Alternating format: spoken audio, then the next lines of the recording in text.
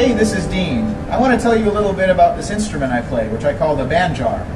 I married a couple of good design elements from a couple of different instruments into one um, to focus on ease of playing. And I mean easy. You'll be able to play your first song on the banjar in about five minutes.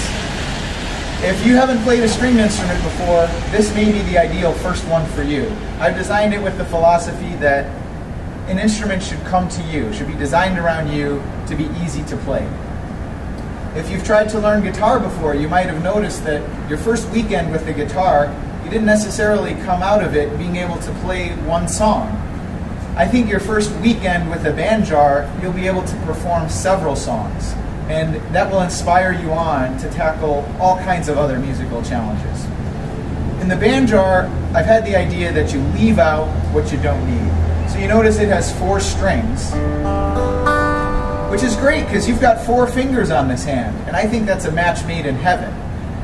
Uh, an example song you can play on this, you don't even need all four strings uh, to be, all four fingers to fret every chord. So here's an example song that you can play on this. The tide is high, on. I'm gonna be your number one, number one. You see? One finger was all it took to do that. If you've ever played Rock Band or Guitar Hero, you have the skills to play this instrument. What kind of styles can you play on this? Well, I play different kinds of songs. A lot of styles, uh, rock songs, country songs, uh, bluegrassy songs, reggae songs. I think literally you can play anything on it.